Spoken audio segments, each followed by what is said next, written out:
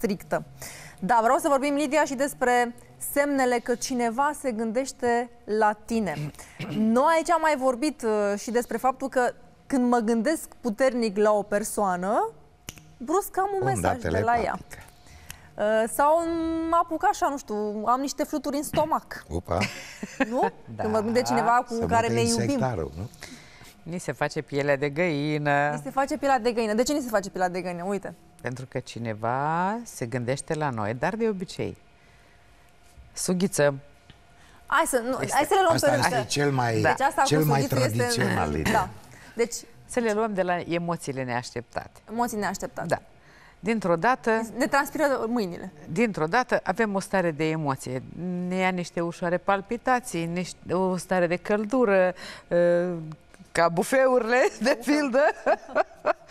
Așa, și asta este emoția cea mai importantă este partea pe care o simțim emoțional, că cineva se gândește cu drag la tine. Deci avem dorința, niște emoții pe care nu le putem explica, da. care ne iau așa, din, dintr-o dată. Dintr-o dată. Uh, sau uh, o stare de tristețe ne poate lua.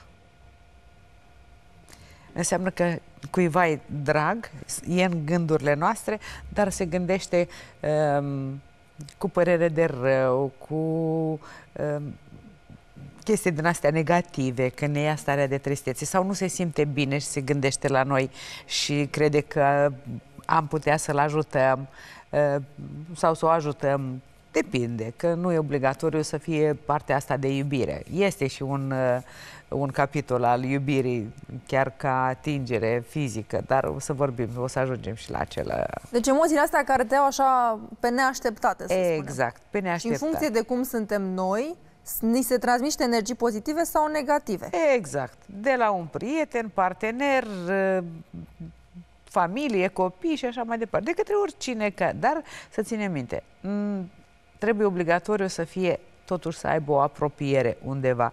Adică și dacă se gândește la mine acum Ion din deal sau Ileana de nu știu unde, eu nu o să am niciun simptom este o legătură de emoție. afectivă cu persoana Deci este o legătură afectivă. Pentru că puterea minții este mai, uh, și gândul este mai rapid decât viteza luminii, ca să ne înțelegem. Este egală cu uh, ce facem noi când dăm telefon.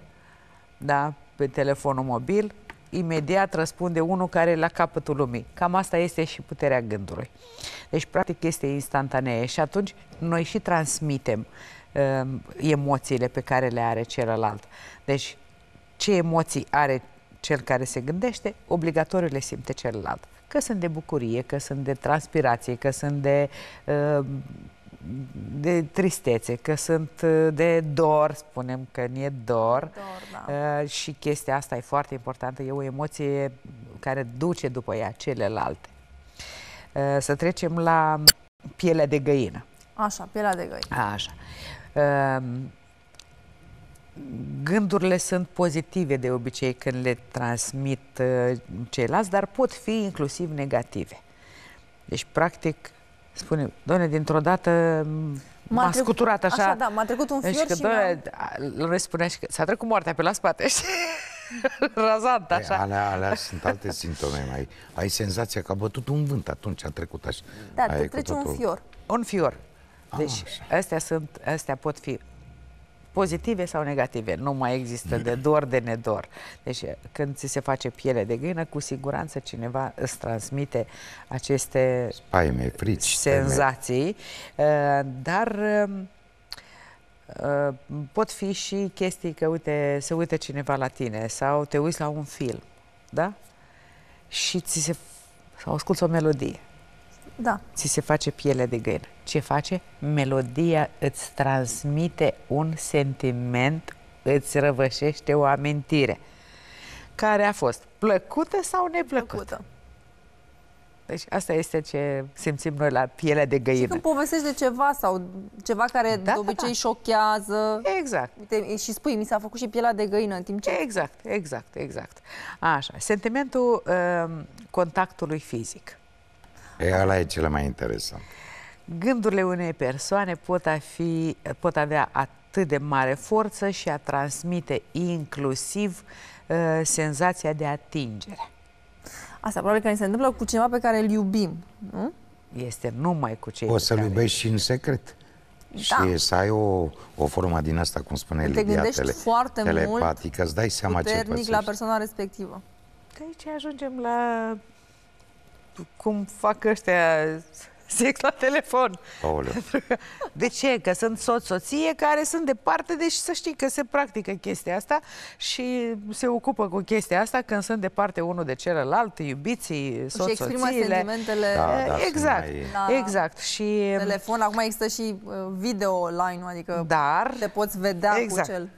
Dar contează foarte mult creierașul în toată chestia asta că și sentimentele, pentru că ceea ce simți, transmiți. Uh, Că nu poți să stai cu furca în mână și să spui, vai cât de mult te, eu, te iubesc. Te drădiți așa, înțeles? Normal ca să o să simți că îți vine să stai capul și atingerea de foarte multe ori uh, sunt am văzut femei foarte multe cu Da, asta e, chestia ai, asta. ai trăit, că eu uh, acum încerc să-mi dau seama, ai trăit ex- sentimentul ăsta că ești, te simți în apropierea unei persoane la care te gândești foarte tare, tu Mm, personal. Tocmai asta spun. Deci este puterea minții cât lași să poți să fii controlat de aceste sentime, de aceste Am stări. înțeles. Pentru că, uh, uite, mi s-a întâmplat uh, cu o problemă ușor psihică, uh, o pacientă simte că că este penetrată de partener, că este uh, iubită, că este de multe ori maltratată de el uh, în sensul frumos al iubirii, știi?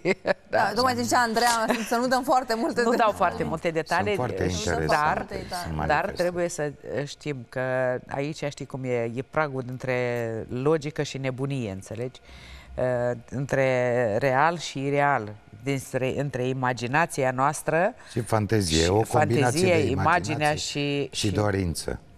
Cred că mai mult spre fantezie și dorință. și dorința. Că dacă n-ai imaginație, poți să ai nu, o dacă n-ai dorință- dorință, n-ai nici imaginație. Ai, dacă n-ai, păi, nu? Dorința uh, zgândără imaginația. Iar imaginația, zice, nu putem numai noi două trezim și fantezia. Și îți dai seama, trei acolo, Ce e iese? numele tatălui, al fiului și Doamne ajută. Și Doamne ajută, da. Da, pentru sunt- că sunt lucruri da, care- se întâmplă chestia asta telepatică cu o persoană pe care o iubești. Că dacă nu o iubești, chiar ai N-ai cum. senzații neplăcute. Deci nu, nu te simți bine.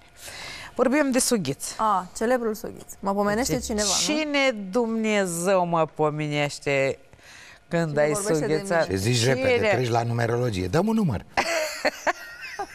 Depinde cu cine stai de vorbă. Că un număr nu poți da decât bărbați. Nu, dar asta e de când uh, lumea, nu, povestea aia cu numărul ăla altul e altă. Da. Să dăm un număr. Dar numărul ăla e convertit într-o literă. Sau ce spunem o literă. Dar, de obicei, conotația sughițului este energie negativă. Energie negativă. Da, că cineva îți transmite gânduri negative și energie negativă. Zău? Uite, nu Da. știu. Da. Da, de multe ori chiar nu poți să scapi de el. Exact. Și persistă și te apucă și nu te mai lasă sughițul ăsta. Deci o energie negativă. Până la urmă, nu, nu știam. Am crezut că și cineva care pur și simplu te pomenește sau se gândește la tine. Spune că se gândește negativ. Se gândește negativ. este forma deci de nu e să- bine. Nu, Da, nu la într-un negativ fel. era cu țiuitul urechii. Care ureche înțiuie? Stânga sau dreapta? Și că dacă ți-o ghicea, înseamnă că se gândește de bine. Stânga era bărbat și dreapta era, adică dreapta bărbat și stânga femeie. Dacă ghicea, dacă nu ghicea, te vorbea de rău. Zi mai departe că e frumos cu... Eh, Deci cu sughițul am, am terminat. Nu, nu, nu e bine dacă... Da, este că Vă cineva transmite îți energie transmite, negativă. ori îți transmite energie negativă, ori se gândește negativ la tine. Adică se gândește cu din astea, cu răutate. cu răutate. Răutate. Te vorbește de rău. Te vorbește de rău, da. Că știi cum e, mai era îți arde fața și că, domnule, mă vorbește Sau cineva, vârful îmi urechilor, arde da, ai dreptate. ureche, îmi ard Da, urechile da, da, sau da. mi arde fața.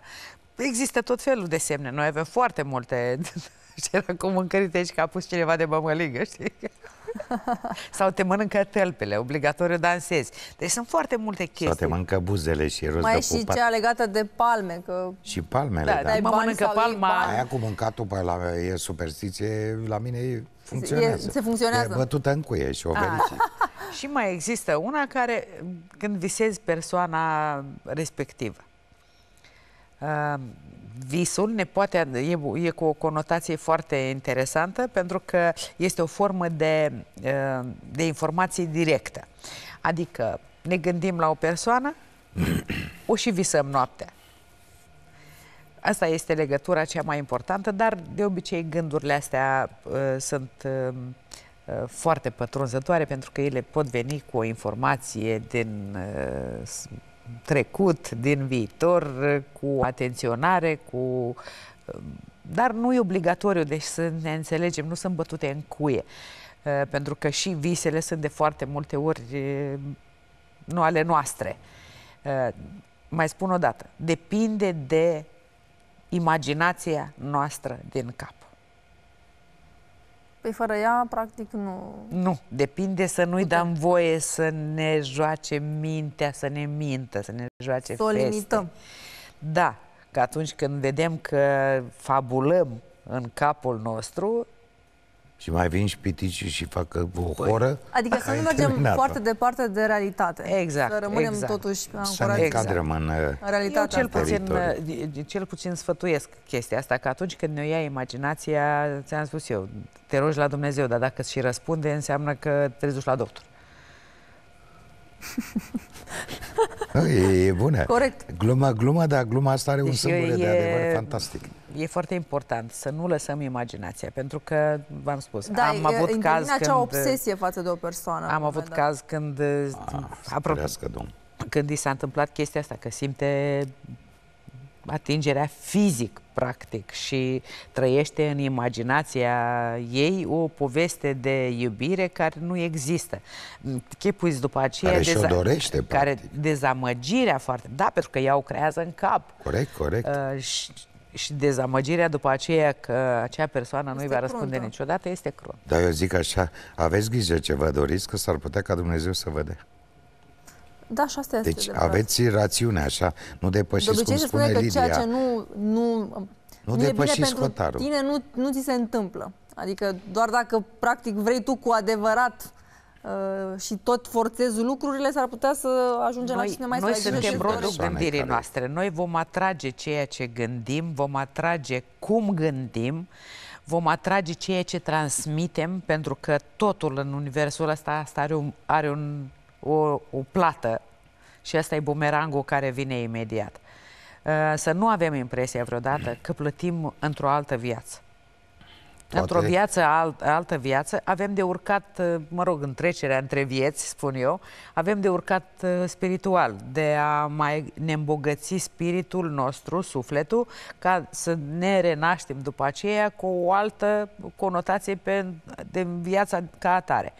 Că avem unele chestii pe care, că e karmă, destin, tot același lucru e, că toată lumea se încurcă în karme și destin. Karma e una, destinul e alta, Așa. iar vorbim.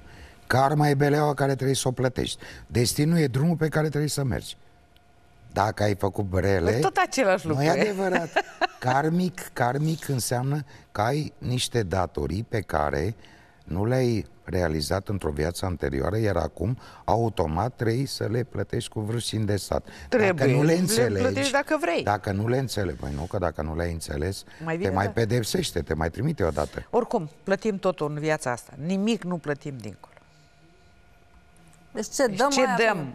astăzi, vom primi mâine cu siguranță sau chiar astăzi înapoi. Suntem rodul Sau- gândirii și acțiunilor noastre. Asta Au vreau să efect acele um, um, um, așezări, dacă vreți, de oameni care se gândesc în același timp. Am văzut treaba asta uh, făcută pentru un om care se afla într-o dificultate medicală și familia se strângea la anumite ore și se rugau, transmiteau Corect. gânduri bune pentru persoana respectivă și a reușit. Era într-o comă indusă, a ieșit și Întotdeauna se se simte foarte reușește. bine. Este Și rugăciunea e pe durata- colectivă, iubita mea. Păi uite-te cum se fac slujbele și la ce oră în toate bisericile odată se spune Tatăl nostru. La ce oră la toate bisericile odată se citește Sfânta Evanghelie. La slujbele de duminică. Da. Se citesc la aceeași oră, la ora 10 și jumătate se citește Sfânta Evanghelie. La ora 11 se zice Tatăl nostru. Deci este rugăciunea colectivă. Cu toate că unii sunt mai grăbiți, că au și nunți și botezul și le, le fac mai devreme. Uh, forța rugăciunii, ce ai spus tu, e, e bine de punctat. E o treabă când eu mă rog pentru un lucru. Dacă îi spun, Lidia, dă mâna, ia și tu, Cătălina, mâna, suntem, o luăm și pe Andreea, când vom veni cu patru, dar aceleași cuvinte trebuie spuse. Noi am vorbit de multe ori de forța rugăciunii. Americanii o practică în congres. Și ați văzut cum încheie, da?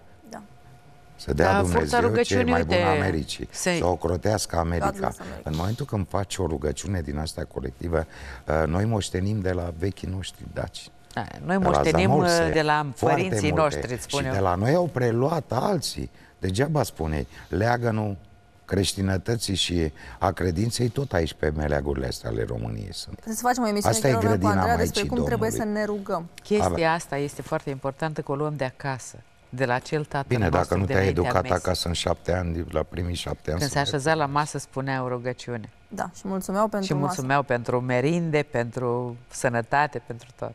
Și mulțumeau celui care a gătit. Da, trebuie să facem, maestre, și chiar vorbeam cu Facem. Andreea, spuneam, o emisiune despre cum